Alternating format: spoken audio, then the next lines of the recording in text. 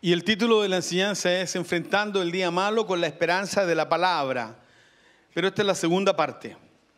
Y es la segunda parte porque el domingo pasado, cuando enseñamos sobre Naamán, este general sirio, y lo que Dios hizo sobre su vida fue literalmente terminar con su día malo. Un día malo que conllevaba una lepra, una discriminación, problemas de autoestima problemas de valor de sí mismo, problemas de propósito. Un hombre que era victorioso en extremo, pero tremendamente leproso. Y enseñamos eso principalmente porque todos de una u otra manera tenemos un grado de lepra en nuestro corazón. Todos de una u otra manera luchamos con una lepra ahí camuflada en el carácter, en las malas respuestas, en las malas palabras, en debilidades de la persona, del alma todos tenemos algo de lepra. Y pensamos que para Naamán, él necesitaba tener un día que le cambiara su vida. Y Dios lo hizo. El día malo para Naamán terminó aquel día en que obedeció al profeta y se zambulló siete veces en el río Jordán. Y dice la palabra que su piel quedó tan blanca como la de un niño. Alguien podría decir de forma más coloquial, poto de guagua. La Billy nos enseñó el miércoles de una manera muy linda sobre tres hombres importantes, Mesag, Sadak, Sadrach, Mesag y Abednego, hombres que estuvieron en una condición de extremo peligro, un día malo para ellos. Pero había una palabra de Dios sobre ellos. Y esa palabra de Dios que vino sobre estos tres hombres los salvó, los salvó de la muerte. Queridos, cuando la palabra dice que nosotros debemos tomar toda la armadura de Dios, toda la armadura de Dios, para estar firme, para enfrentar firme el día malo. Y habla de la armadura, de la coraza de justicia, del casco de la salvación, etc. Pero todo eso que habla la palabra es para que tú y yo tengamos herramientas para enfrentar nuestro día malo. Porque días malos hay y días malos habrán, sin duda alguna. Porque vivimos en un mundo espiritualmente antagonista. Vivimos en un mundo donde los principios y valores son totalmente contrarios a nuestra fe. Vivimos en una sociedad egoísta, absolutamente egoísta. Así que días malos por nuestra parte quizás no los buscamos, pero el contexto en el cual nos movemos arrecia sobre nosotros con dardos de fuego del maligno que solamente se detienen con el escudo de la fe que es parte de la armadura de Dios. El día malo vendrá, sin duda alguna pero nosotros debemos necesariamente hacer cambios. Volviendo un poco a Naamán, simplemente para citar lo siguiente. La Biblia dice en Hebreos capítulo 11, verso 1 y 6, dice, ahora bien, la fe es la garantía de lo que se espera, la certeza de lo que no se ve gracias a ella, a la fe, fueron aprobados los antiguos. Y hay muchos testimonios en Hebreo 11 que usted pueda deleitarse ahí mirando cómo Dios hizo milagro tras milagro, milagro tras milagro, tan solo porque las personas que se vieron involucradas en distintas circunstancias apelaron y vivieron un momento de fe fuera de lo común. Ahora bien, la fe es la garantía de lo que se espera, la certeza de lo que no se ve. Gracias a ella fueron aprobados los antiguos. Y enseguida agrega, en realidad sin fe es imposible agradar a Dios, ya que cualquiera que se acerca a Dios tiene que creer que Él existe y que recompensa a quienes lo buscan. A Dios le agrada nuestra fe. Si hay algo que a Dios le agrada de nosotros, son nuestros actos de fe si hay algo que a Dios lo conmueve, si hay algo que a Dios le llama la atención, si hay algo que a Dios lo hace levantarse de su trono y ponerse de pie, es cuando tú y yo damos pasos de fe, nos atrevemos a hacer cosas que otros no harían, pero confiados en la promesa de Dios. Hemos hablado de fe durante todas estas semanas, porque si hay algo que tú y yo vamos a necesitar para los próximos meses y años, quizás es una fe fuera de lo común, una fe sobrenatural, una fe que llama a las cosas que no son como si fuesen. ¿Cuál fue la característica de Naamán? Naamán, un hombre leproso, un hombre, un guerrero valiente, un tremendo soldado. Nadie lo había vencido pero era leproso. Él tenía un problema, él vivía un día malo todos los días cuando tenía que sacarse la ropa y parte de, parte de la ropa también se iba parte de su piel. Pero Dios tenía para él un día bueno. Una mujer israelita sabe que hay un profeta que lo puede sanar y le habla de él. Y Eliseo, un profeta de Dios, hace lo que Dios tenía destinado para este soldado. Le da una palabra. Y Naamán, escúcheme bien, obedece por fe. Él no obedeció por la emoción. No obedeció porque la mujer israelita era bonita, simpática, hacía las cosas en la casa, tenía buena mano para cocinar.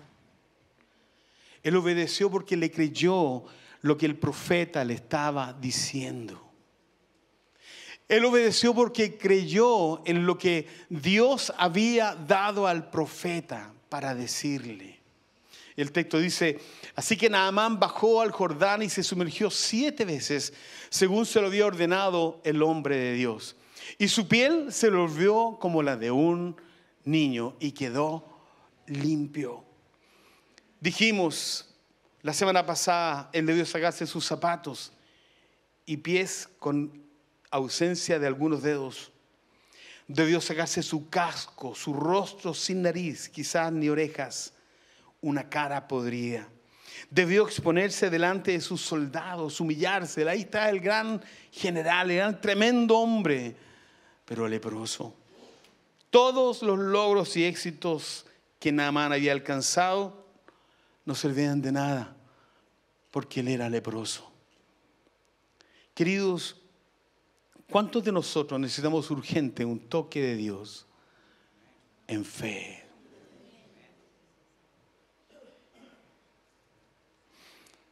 La palabra terminó la semana pasada citando este texto. Luego Naamán volvió con todos sus acompañantes y presentándose ante el hombre de Dios le dijo, ahora reconozco que no hay Dios en todo el mundo, sino solo en Israel.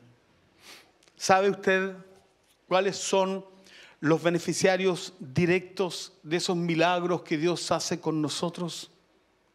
Las personas que no conocen a Jesús.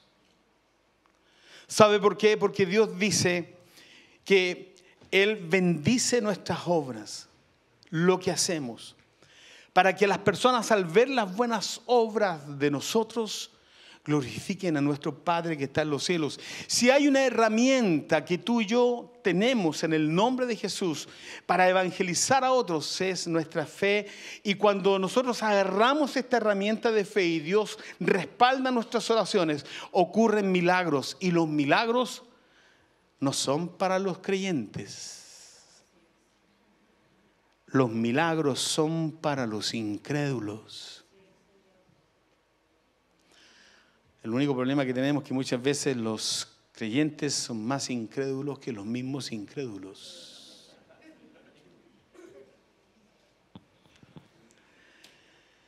Para nada más hubo un día bueno que terminó para siempre con el día malo de su condición física, emocional y espiritual.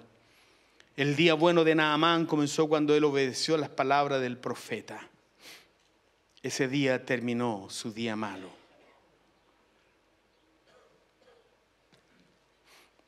Dios, que muchas veces y de varias maneras habló a nuestros antepasados en otras épocas por medio de los profetas, en estos días finales nos ha hablado por medio de su Hijo. Enseñamos el domingo pasado que hoy día nos habla a través de su Espíritu Santo. Pero mire, dice que Jesucristo es el mismo ayer, hoy y por los siglos. Por lo tanto, lo que quiero decir es que el mismo Dios de Abraham, de Isaac y de Jacob es el Dios que está aquí ahora. Amén. El mismo Dios que sanó a Naamán es el que está aquí ahora. ¿Aló o no aló? ¿Está conmigo no? El mismo Dios que obró milagros, que sanó a, esa mujer enferma de 12 años de un flujo de sangre. El mismo Dios que obró sobre el, hijo de la viuda que iba en un féretro su hijo, el, mismo poder que levantó a ese hombre de la muerte, es el mismo poder que actúa en nosotros. Amén o no amén. Naamán le creyó al Dios de Eliseo. Y la respuesta fue una sanidad asombrosa, impresionante. Se salió del agua y su piel estaba como poto de guagua. Sanito. Pero queridos, lo que operó ahí fue fe. Quiero compartir con ustedes otro ejemplo de fe que tiene que ver con este Jesucristo que es el mismo ayer, hoy, mañana y por los siglos. De este Dios soberano que está en esta sala ahora, en este preciso momento, Dios está aquí. Ese mismo Dios que obró milagros es el que también obró sobre esta mujer que les voy a relatar. Y nos va a confrontar a todos, partiendo por mí. Hubo un profeta que se llamaba Elías un hombre sujeto a pasiones. Un día Elías oró y fuego cayó. Y otro día una bruja lo amenazó de muerte y salió huyendo aterrorizado que podía morir. Sujeto a pasiones, emocional, pero un hombre que le creía a Dios. La escritura dice así. Algún tiempo después se secó el arroyo porque no había llovido en el país. Entonces la palabra del Señor vino a él con este mensaje. Ve ahora a Sarepta de Sidón y permanece allí. A una viuda de ese lugar le he ordenado darte de comer. La palabra de Dios vino al profeta y le dijo, ándate a Sarepta de Sidón porque allí hay una viuda y le he ordenado a ella que te dé de comer. Así que Elías se fue a Sarepta. Al llegar a la puerta de la ciudad encontró una viuda que recogía leña. La llamó y le dijo, por favor, tráeme una vasija con un poco de agua para beber. Mientras ella iba por el agua, él volvió a llamarla y le pidió, tráeme también, por favor, un pedazo de pan. Tan cierto como vive el Señor tu Dios, respondió ella. No me queda ni un pedazo de pan, solo tengo un puñado de harina en la tinaja y un poco de aceite en el jarro. Y dice, precisamente estaba recogiendo unos leños para llevármelos a casa y hacer una comida para mí y para mi hijo. Y termina diciendo, esta será nuestra última comida antes de morirnos de hambre. No temas, le dijo Elías. Vuelve a casa y haz lo que pensabas hacer. Pero antes, antes, prepárame un panecillo con lo que tienes y tráemelo. Luego haz algo para ti y para tu hijo. Porque así dice el Señor, dice. Dios de Israel. El mismo Dios de Abraham, de Isaac y de Jacob, que está aquí ahora. Así dice el Señor, Dios de Israel no se agotará la harina de la tinaja, ni se acabará el aceite del jarro, hasta el día en que el Señor haga llover sobre la tierra. Ella fue e hizo lo que le había dicho Elías. De modo que cada día, cada día, diga conmigo, cada día. De modo que cada día hubo comida para ella y su hijo, como también para Elías. Y tal como, lo, y tal como la palabra del Señor lo había anunciado por medio de Elías, no se agotó la harina de la tinaja ni se acabó el aceite del jarro. Número uno, había hambre en ese lugar. Había sequía, cerca de tres años de una sequía. Ya no habían frutos en los árboles. A esta mujer tan solo le quedaba un poco de harina y un poco de aceite, eso era todo lo que le quedaba. ¿Y qué estaba haciendo ella? Recogiendo unos leños para poder hacer fuego y hacerse un pan. Era viuda. No tenía nadie que la contuviera, no tenía nadie que la animara, no tenía nadie que le levantara los brazos cuando estaba desanimada. Era una mujer viuda. En una situación de extrema miseria, de extrema pobreza, de extrema dolor. Ah, vivía en un literal desierto como muchos de nosotros vivimos un tiempo malo, un día malo, donde no hay agua, donde nada nos satisface, donde Nada nos llena, donde la frustración, la amargura, la ira, el enojo está invadiendo nuestro corazón y no nos permite ser lo que Dios quiere hacer. Mm. Pero sabe, en medio del desierto de esta mujer, en medio de la desazón de la circunstancia, en medio de la pobreza y miseria que había arreciado aquella zona, hubo una palabra de Dios.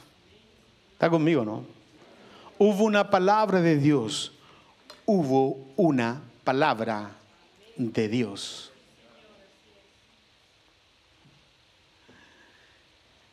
Dios tenía un plan para aquella viuda. Dios tenía un propósito para aquella mujer. Mis queridos, ustedes no se imaginan, y les declaro esto en el nombre de Jesús, no se imaginan porque Dios ha preparado hombres y mujeres antes de la fundación del mundo para que en un momento específico en nuestra vida crucen su camino con nosotros y nos bendigan. Miren, quizás aquí vino una linda mujer que no voy a citarla para no exponerla, pero ella vino esta mañana invitada por una amiga, está aquí con nosotros. Y conversamos brevemente antes de la palabra. Ella no nos conoce, no me conoce, pero Dios preparó para ella un día como hoy, como lo hizo para esa viuda cuando preparó a Elías para bendecirla como no se imaginaba la mujer. Amén o no amén. Y todos los que vinieron esta mañana por primera vez, yo les digo que Dios preparó este día para ustedes. Que Dios preparó una instancia como esta para bendecir sus vidas. Elías el profeta se acercó a la pobre mujer, le pidió agua y un pedazo de pan. Voy a rogarles que traten de no pararse tanto, ¿ya? Porque ya como seis, siete personas se han puesto de pie, caminan para allá. Y como yo tengo un pequeño problema de déficit atencional, me distraigo fácilmente. La viuda responde al profeta cuando éste le pide agua y también le pide pan. Le dice, no tengo nada más que este puñado de aceite y de harina. Ella no tiene más para, no tiene más que, no tiene más que eso para ella y para su hijo. Le responde, le dice, precisamente estaba recogiendo unos leños para llevármelos a casa y hacer una comida para mi hijo y para mí. Será nuestra última comida antes de morirnos. Será lo último que comamos. Esto es lo único que me queda. No hay nada más. Nada más. No hay esperanza. Los problemas son demasiado grandes. Los gigantes son demasiado gigantes.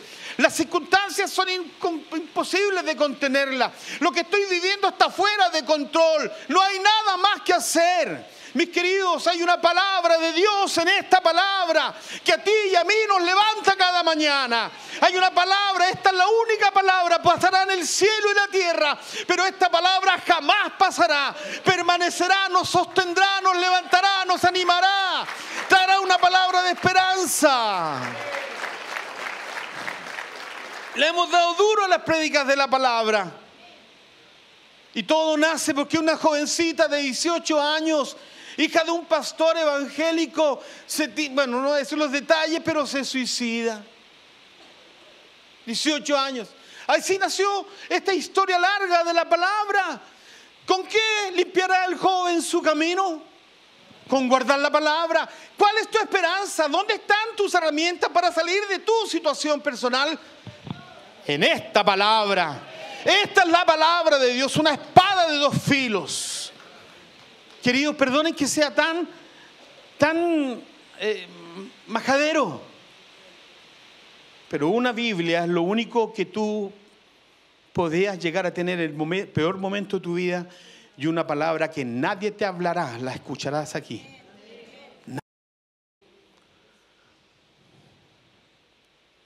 La mujer estaba llena de miedo. Era su último poco de aceite, su último poco de harina. Había que dejarse morir. Pero el profeta le dice esto, no temas, le dijo Elías. Vuelve a casa y haz lo que pensabas hacer, pero antes prepárame un panecillo con lo que tienes y tráemelo. Pero antes prepárame a mí un panecillo y tráemelo. Es una locura, ¿eh? está ahí, se está muriendo. el último poco de harina de aceite, en locura para el profeta, en locura para ella. Le dice, ok, paz, tranquilo, Dios va a bendecirnos. Pero antes de comer tú, yo quiero comer. y si Dios no multiplica la harina y el aceite, locura. No temas, le dijo Elías. Vuelve a casa y haz lo que pensabas hacer, pero antes prepárame un panecillo con lo que tienes y tráemelo. Luego haz algo para ti y para tu hijo, porque así dice el Señor. Así dice el Señor, Dios de Israel, no se agotará la harina de la tinaja, ni se acabará el aceite del jarro, hasta el día en que el Señor haga llover sobre la tierra. Es lo que Dios dice no lo que dice la circunstancia. Es lo que Dios ha establecido, no lo que otros dicen que va a pasar. Es lo que Dios ha establecido sobre su iglesia, no lo que una economía decadente nos intimida. No, no es así. Es lo que Dios dice, es lo que Él dice, es lo que Él establece. No, no hay nadie más, es solo su palabra. Ella debió decidir qué hacer, creerle al profeta o dejarse morir. Es como cuando vamos a diezmar y sacamos las cuentas. Y por más que sumamos y por más que sumamos y restamos, no, no vamos a llegar a fin de mes. No me va a alcanzar para terminar el mes. El día 25 se me acaba la plata. Pero si no diezmo, llego hasta el final.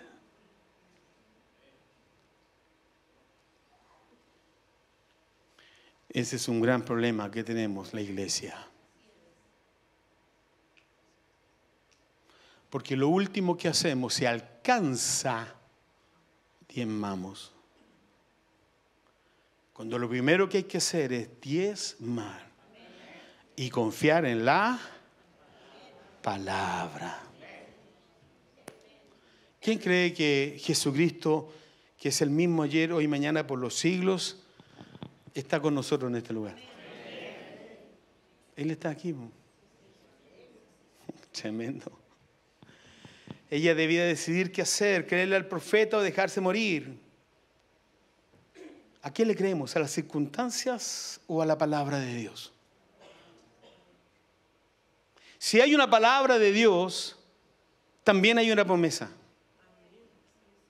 Y el Dios en quien hemos creído es un Dios de promesa. La fe llama a las cosas que no son como si fuesen. La palabra dice, por eso la promesa viene por la fe. Escucha esto, ah, interesante. Por eso la promesa de Dios, el compromiso de Dios con nosotros, el acuerdo que Él ha llegado con nosotros, su iglesia, no se alcanza por ningún otro medio, sino a través de la fe. La fe es la certeza de lo que esperamos, la convicción de lo que no vemos. Sin fe es imposible agradar a Dios. Por eso que el que se acerca a Dios tiene que creer que Él existe y que nos va a recompensar por nuestro acto de fe. Entonces la palabra dice, por eso la promesa viene por la fe, a fin de que la gracia, Cristo, quede garantizada para toda la descendencia de Abraham. Me explico. La promesa viene por la fe. La promesa de Dios viene y se alcanza por la fe. ¿Y quién la garantiza? Es la gracia. Porque todas las promesas de Dios en Cristo son sí en Él. ¿Aló no? Todas las promesas de Dios. Todas, desde el Génesis hasta el Apocalipsis. Todas las promesas de Dios en todo... Eh, el, camino de este Génesis y Apocalipsis son sí en Cristo. Todas, todas, todas son sí en Cristo. Así que cuando dice, por eso la promesa viene por la fe. Es decir, alcanzamos la promesa a través de nuestra fe. Y la garantiza como por la gracia, porque todas las promesas en Cristo son sí en Él. Dice, por eso la promesa viene por la fe, a fin de que por la gracia quede garantizada para toda la descendencia de Abraham Todos, yo leí el texto la semana pasada, un texto asociado a Abraham, porque nosotros fuimos declarados justos por causa de nuestra fe, como así también lo fue Abraham.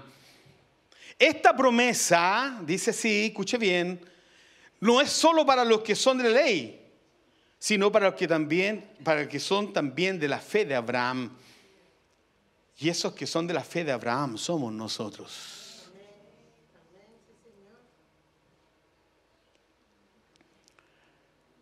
Así que Abraham creyó en el Dios que da vida a los muertos y que llama las cosas que no son como si existieran.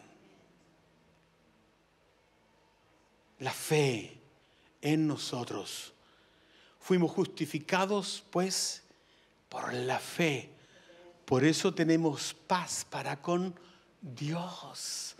Porque yo puedo correr al trono de la gracia y agarrarme de esa sangre derramada que Dios derramó en la cruz y sentarme delante del Señor con mis manos limpias y un corazón puro.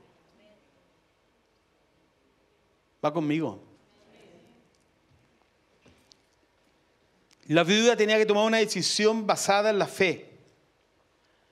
Pero antes le dice el profeta, prepárame un panecillo con lo que tienes y tráemelo. Luego haz algo para ti y para tu hijo ella se vio confrontada con una decisión de fe. Ella debió decidir.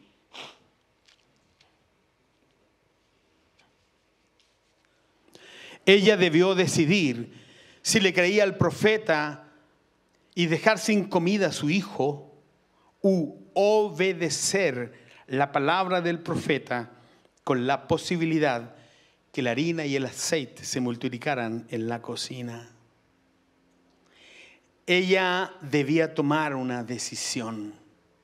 Yo me imagino a esta mujer conversando con Elías y Elías le dice, mira, sé que lo único que tienes es un poco de harina y un poco de aceite, pero anda a la cocina, confía en lo que te estoy diciendo, porque Dios ha dicho que Él va a multiplicar la harina y el aceite todo el tiempo necesario hasta que termine esta sequía. Así que yo creo que la mujer con su hijo ¿qué hago? ¿Le creo o no le creo? ¿Le creo o no le creo? Y dice, ok, y va a la cocina. Y prepara la harina y el aceite y empieza con los pocos leños que recogió a hacer el pan. Pero ella no ha visto que la harina y el aceite se le han multiplicado. Así que ella tiene la decisión de tomar el pan y comérselo con su hijo o llevárselo al profeta que está sentado en el líden con la pierna arriba y un vaso de agua en la mano. Y le cree al profeta. Así que cuando ella comienza a caminar en un acto de fe hacia el profeta con el pan y su hijo al lado y se lo entrega, lo que está ocurriendo en la cocina es que este acto de fe hizo que la harina y el aceite se multiplicaban. Se multiplicaban. Y se multiplicaban. La harina y el aceite se multiplicó porque esta mujer le creyó la palabra del profeta. Mis queridos,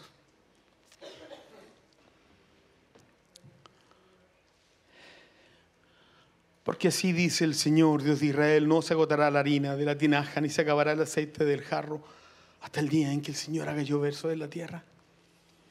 La fe agrada a Dios. El que se acerca a Él tiene que creer que Él existe. Usted no puede ser como la viuda, de que se coma aquello que no fue dado para comérselo, sino para darlo.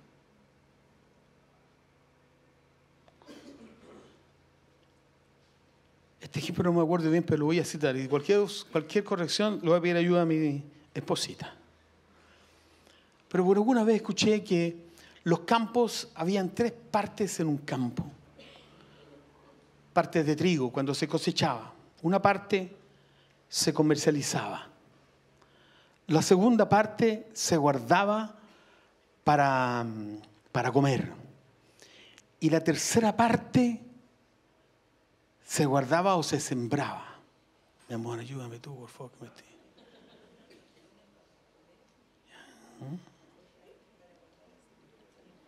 Allá. Este, eso es lo que dijimos. Pero una parte era para comer, otra para comercializar y otra guardarla para como semilla, como siembra. Pero sabes, a veces nosotros comercializamos y nos comemos lo que había que comerse y además nos comemos la semilla. Y al año siguiente no tenemos cómo sembrar, porque ya nos comimos la semilla. Y el dar tiene que ver con un acto de siembra. Sembramos para que Dios nos dé.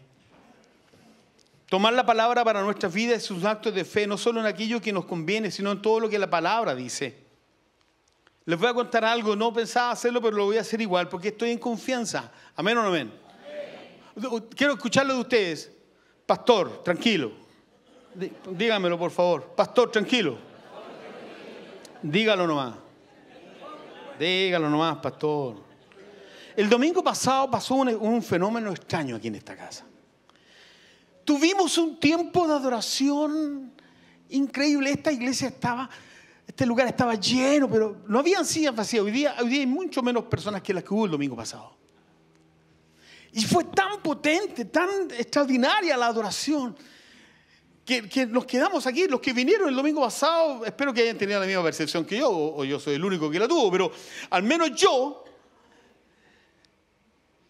Y de repente, Señor, dije, viene la ofrenda, dije, Señor. ¿qué hago? Porque a mí me preocupa mucho aquellos hermanos que tienen todavía un tema de, con una conciencia débil respecto del dar. Es una presencia de Dios, Señor. Yo, yo no voy a levantar una ofrenda como lo hago siempre. Porque si tú estás aquí, Señor, y ellos percibieron tu presencia, entonces yo entiendo, Dios, que ellos van a querer recompensar tu presencia. Porque era muy evidente la presencia de Dios. Pero ¿saben? Por eso que les pedí que les dijera lo que yo quería decir. Ustedes me, ustedes me autorizaron. Nunca habíamos tenido una ofrenda tan baja.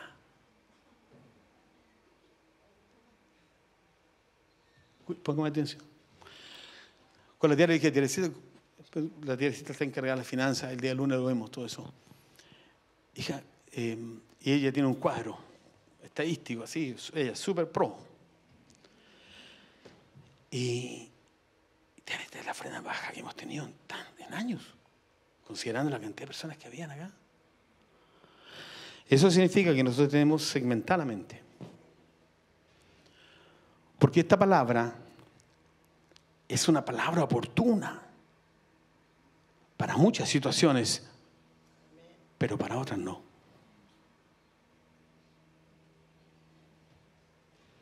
No sé si me entendió el ejemplo. ¿Qué pasó finalmente con la viuda? Ella fue e hizo lo que le había dicho Elías.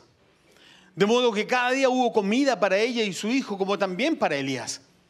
Y tal como la palabra del Señor lo había anunciado por medio de Elías, no se agotó la harina de la tinaja ni se acabó el aceite del jarro. Escúchame bien, ella fue e hizo. ¿Está escuchando, verdad? Ella fue y obedeció. Ella recogió el consejo del profeta. Ella se atrevió a venir a preparar, prepararle un pedazo de pan al profeta.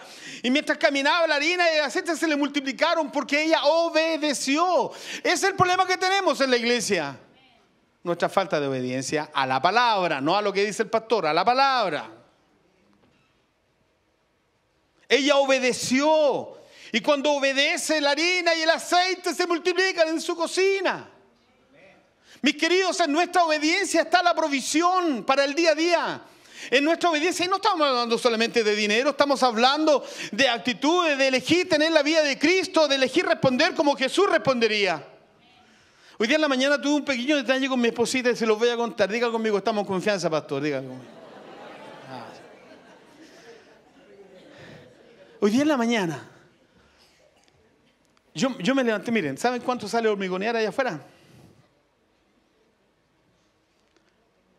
cerca de 4 millones. ¿Saben lo que es hormigonear? Es echar cemento en todo lo que hemos hecho. Son como 4 millones y tantos de pesos. En total.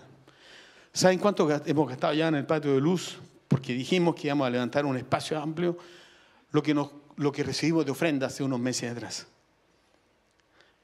Y sabe usted, mis queridos, no, no entra en detalle, pero tenemos, una, tenemos un pequeño gigante que alcanzar de aquí a final de mes. Y yo me levanté, he estado un poco taciturno porque yo le dije hoy día en la mañana, Señor, ¿por qué me elegiste a mí, Señor? Se lo dije en serio. Señor, ¿por qué me elegiste a mí? O sea, ¿cómo quisiera estar tranquilo aquí en la cama, pero, pero tenemos una montaña de plata que hay que pagar de aquí al martes, que no es poco para todo lo que hacemos con el centro médico, con el colegio, los profesores, los niños de Duca Monte Alto. Entonces yo estaba, entré al baño así medio, medio molesto conmigo mismo. Y, Señor, ¿cómo lo vamos a hacer, Señor? Pues si ustedes creen que este buen mozo que ustedes están viendo acá no le pasa nada, no, se equivocan, chiquillos. Entonces me estaba bañando ahí, de voy y no había champú. Y, ya vengo medio atravesado con todo lo que estoy esperando que Dios haga en estos días. Elías era sujeto a pasiones. Amén. Entonces, y viene mi esposita. Yo no la escuché, pero tampoco tenía un buen corazón cuando me estaba bañando ahí. Entonces ella viene y me dice, por lo, que, por lo que ella me dijo, después que me dijo, me dijo, eres el más lindo. Y me lo dijiste, ¿no es cierto? No, no me lo dijo. Pero me, no, pero, me dijo, mira, me dijo, buenos días, mi amorcito, ¿cómo estás? Me dice así, buenos días mi amorcito, ¿cómo estás? Y yo le respondo, no hay champú. y cuando dije no hay champú, el Señor me habló. ¿Cómo le responde así a ella?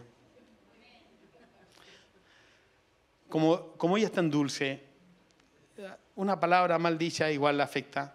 Así que vi que se empezó a llenar su ojo de lágrimas. Y la abracé y le pedí perdón. Entonces dije, Señor, ¿por qué me elegiste a mí? Todo lo que ustedes ven acá es fe. Vive Jehová que Dios lo ha provisto. Pero no ha estado exento de las aflicciones también de nuestro corazón. Yo no estoy enojado con ustedes por si acaso. ¿ah?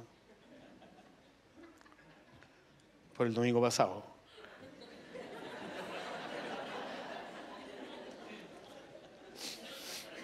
No temas, le dijo Elías, vuelve a casa y haz lo que pensabas hacer, pero antes prepárame un panecillo con lo que tienes. Bueno, toda la historia que conté, perdón que me cambie de tema, pero toda la historia que conté es para decirle que uno no está exento de las aflicciones de tomar decisiones de fe. Para allá iba con el ejemplo.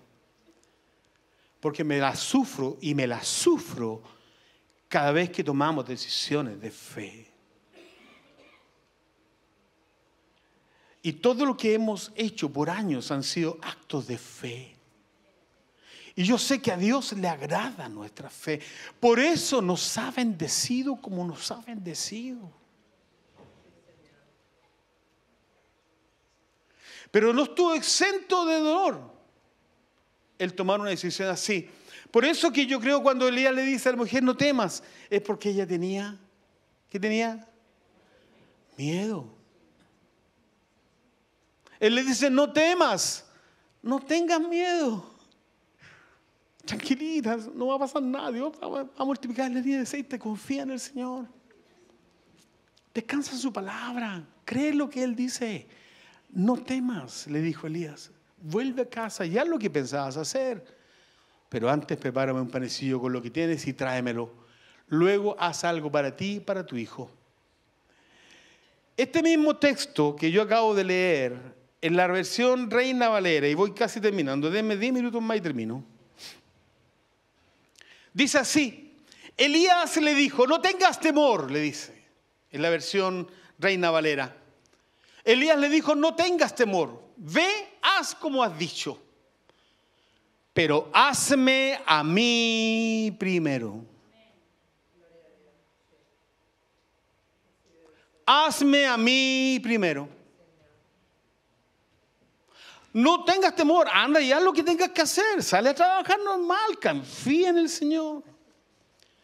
No tengas temor, que no te invadan pensamientos como los que me invadieron a mí. Yo le voy a contar otra infidencia. Se da porque estoy viejo, la andropausia.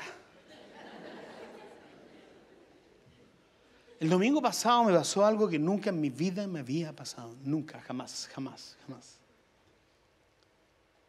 Entre las 4 y las 5 de la mañana nunca me había, había vivido momentos de angustia como le dije a Verónica, me duele el corazón. Y no estaba diciendo que, ay, me duele el corazón.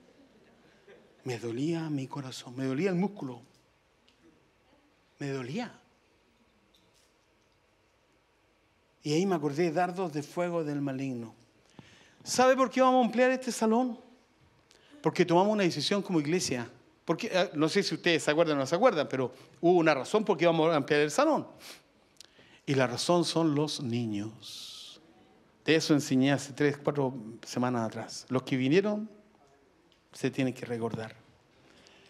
Entonces el temor, el miedo, es algo natural en nuestra alma, pero eso no debe estar por sobre lo que Dios dice.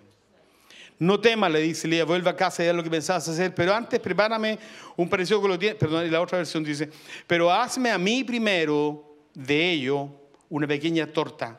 Lo primero es lo primero. ¿Qué es lo primero?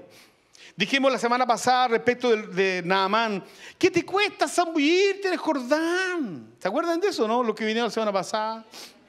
Pero ¿qué te cuesta si has ganado cualquier batalla? No hay ningún enemigo en la tierra que te pueda vencer. ¿Qué te cuesta mucho sumergirte en el Jordán? Sí, pero es que hay otros ríos mejores que el Jordán. Pero ¿qué te cuesta, Naamán? ¿Qué te cuesta sumergirte siete veces en el Jordán? Es mucho pedir. Citábamos como ejemplo, ¿y qué te cuesta ir al Jordán en la mañana un ratito? Y al mediodía ir otro ratito. Y sumergirte un ratito en la tarde. Y sumergirte otro ratito en la noche. ¿Qué te cuesta? Dedicarle cinco minutos cada vez a leer la palabra. Aquí Dios nos habla y nos dice, hazme a mí, hazme a mí primero. Significa, ¿soy yo lo más importante de tu vida? Hazme a mí primero. Hazme a mí primero. Significa, ¿soy yo lo más importante de tu vida? ¿Ocupo el primer lugar en tu vida? en tus prioridades, tu familia, tus amigos, tus hobbies, tus finanzas, primero que yo. ¿Está escuchando, no? Hazme a mí primero. No estamos hablando de dinero, por favor. ¿Qué es primero para ti? Prioridades, amigos, hobbies, finanzas. ¿Es la palabra de Dios lo primero a lo que recurres para tener una orientación en la toma de una decisión o esperas que alguien decida por ti? Hazme a mí primero, está diciendo, yo soy lo primero en tu vida, yo debo ser lo primero en tu vida.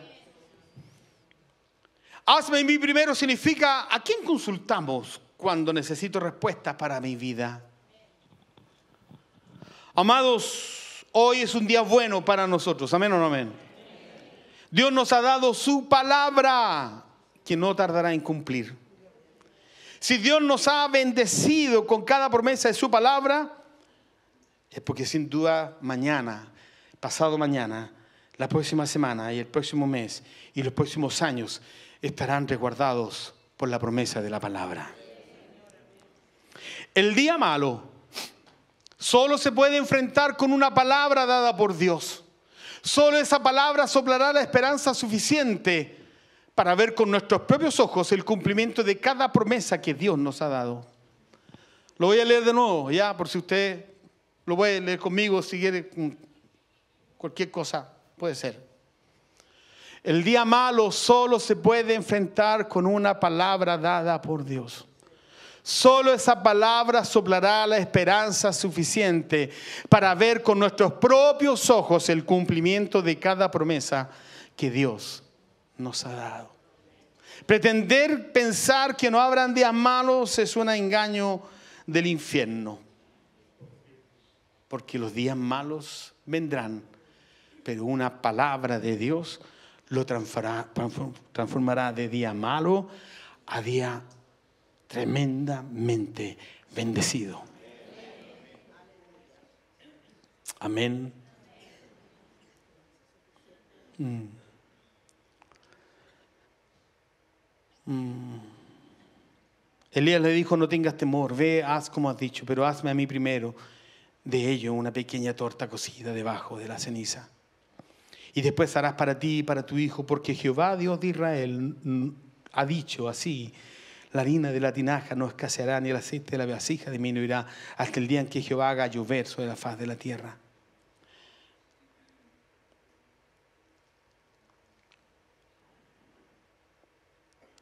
Tres textos y termino.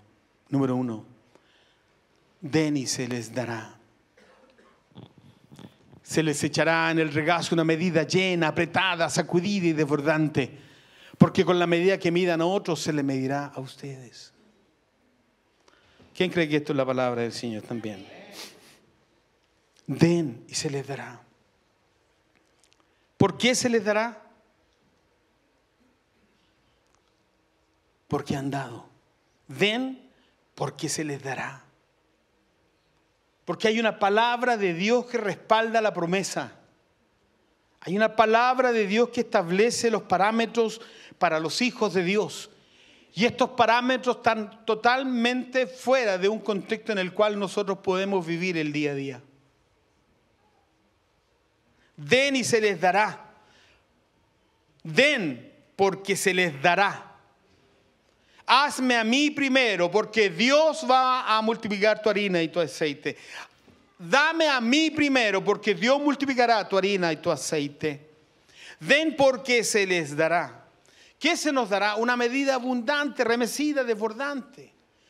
Si nosotros damos esto, Dios nos dará una mayor medida, como hacían las mujeres en aquel entonces, se tomaban parte de su manto iban a comprar ahí al negocio y le echaban las medidas de trigo, lo que sea, desbordante, abundante, remecido, desbordante, nos dará Dios.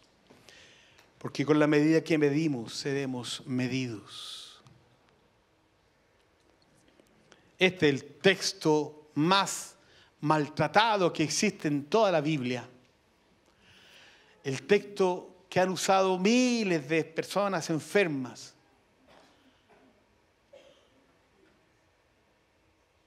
para destruir lo que Dios está haciendo. Traigan íntegro el diezmo para los fondos del templo y habrá alimento en mi casa. Pruébenme en esto. Traigan íntegro, completo el diezmo para los fondos del templo. Pruébenme en esto. Esto es lo que dice la... No, lo escuché mucho aquí. A ver, voy a hacerlo no. Esto es lo que dice la... Traigan íntegro el diezmo para los fondos del templo y decía, habrá alimento en mi cosa. Para que haya alimento en mi mesa, ¿qué tengo que hacer? Traer los diezmos. Pruébenme, dice el Señor en esto si quieren. Pruébenme. Y vean si no abro las ventanas o las compuertas del cielo y derramo sobre ustedes bendición hasta que les sobreabunde. Pruébenme si es necesario. Pruébenme, pruébenme. Confróntenme, pónganse en ese lado, de cara a cara, por el mismo nivel. Pruébenme si acaso no los voy a bendecir con toda bendición espiritual. Y me agrega, exterminaré a la langosta para que no arruine tus cultivos y las vides y los campos no pierdan su fruto. Entonces las naciones los llamarán ustedes dichosos, porque ustedes tendrán una nación encantadora, dice el Señor Dios Todopoderoso traigan íntegro el diezmo. Porque se les, traigan íntegro el diezmo, porque se les abrirá la ventana de los cielos. Se exterminará, todo aquello que trae pobreza, miseria hará de tu existencia en la tierra una existencia bendecida. Amén, iglesia, ¿o no? Y este, el último versículo, o el penúltimo. Pero esto, este versículo que voy a citar, no lo voy a hacer mirando a nadie. Amén. Voy a cerrar mis ojos y lo voy a decir. ¿Están de acuerdo o no están de acuerdo?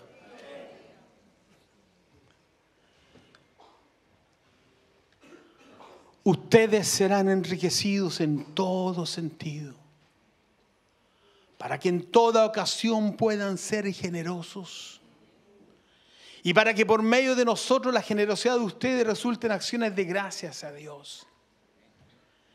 ¿Por qué dije que me voy a tapar los ojos? Porque yo he visto cómo muchos de ustedes han sido bendecidos y prosperados.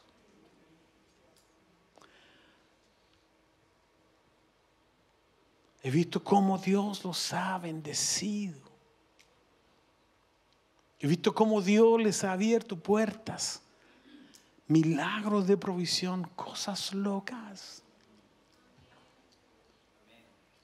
Ustedes serán enriquecidos en todo sentido, para que en toda ocasión, escúcheme bien, están entrando los niños, pero aguanten los niños un poquitito. Aguanten los niños un poquitito, por favor. Escúcheme bien. Escúcheme bien, por favor, no se me desconcentre. Ustedes serán enriquecidos en todo sentido para que en toda ocasión puedan ser generosos. La mujer, esta viuda, obedeció. Y esa obediencia Dios la honró de tal manera que Dios la prosperó como ninguna mujer en todo ese lugar. Y no solamente para ella, para muchos que vivían alrededor de ella, fueron bendecidos.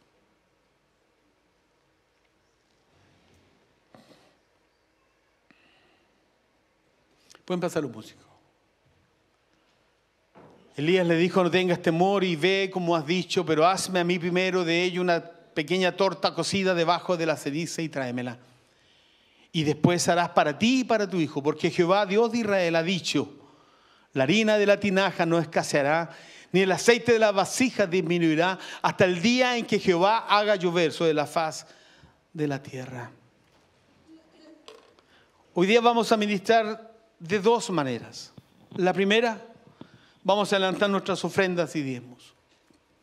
Y después vamos a orar por nuestras necesidades. Pero yo quiero animarte y desafiarte a que el hecho de ser capaz de tomar tu ofrenda, tu diezmo, no lo tomes como simplemente un ritual, algo religioso, algo que hay que hacer, sino tómalo para que la palabra se cumpla sobre tu vida para que la palabra se cumpla, para que la palabra se haga carne en tu carne, para que no sea un cuento de otros, para que sea mi propia experiencia sobrenatural con Dios, mi propia experiencia con Dios, el Dios de Abraham, el Dios de Isaac, el Dios de Jacob, porque Jesucristo es el mismo ayer, hoy, mañana y por los siglos. Dios no es hombre para que mienta, ni un hijo de hombre para que se arrepienta. Dios es inmutable. Él no cambia, es inconmovible. Dios es todopoderoso. Dios es omnisciente, es omnipresente. Dios es un Dios de provisión, Dios provee. Una vez predicamos tiempo atrás sobre la paternidad y hablamos de los 28 aspectos o atributos de Dios como un padre, un proveedor, un iniciador, un fundador, un Dios que provee, un sanador, un Dios que restaura, un Dios que levanta, un Dios que está con nosotros, un Dios cuya presencia está con nosotros todos los días. Esa realidad de Dios es la realidad que tú y yo debemos vivir. Pero el único camino para eso es un acto de fe. Porque la fe agrada a Dios.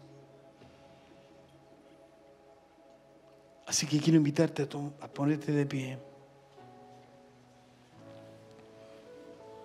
Y que tomes tu ofrenda esta mañana.